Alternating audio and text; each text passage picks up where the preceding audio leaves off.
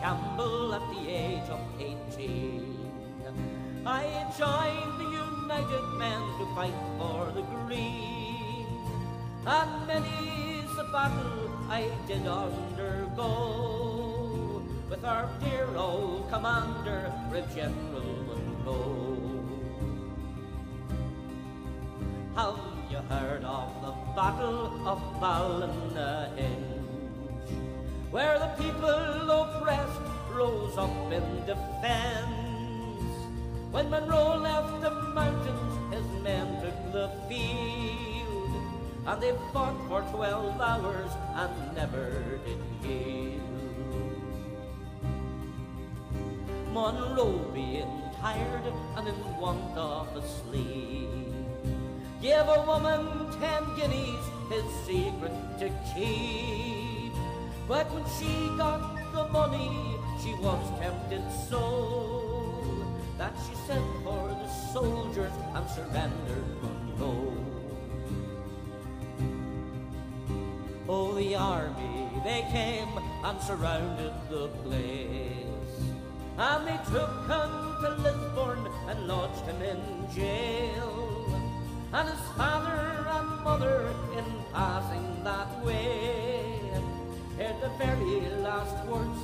their dear soul did say. Oh, I died for my country as I fought for her cause. And I don't fear your soldiers, nor yet heed your laws.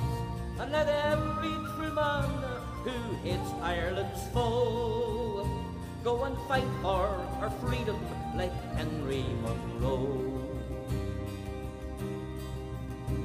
And in came his sister, well clothed in green, with a sword by her side, both sharp, long, and keen.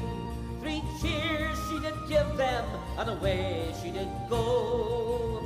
Then I'll have my revenge for my brother Munro. It was early one morning when the sun was still low. They murdered our hero, brave General Munro. And high o'er the courthouse stuck his head on a spear for to make the united men tremble in fear.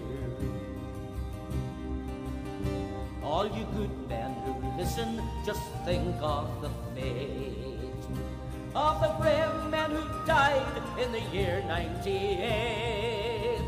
For poor old Ireland would be free long ago.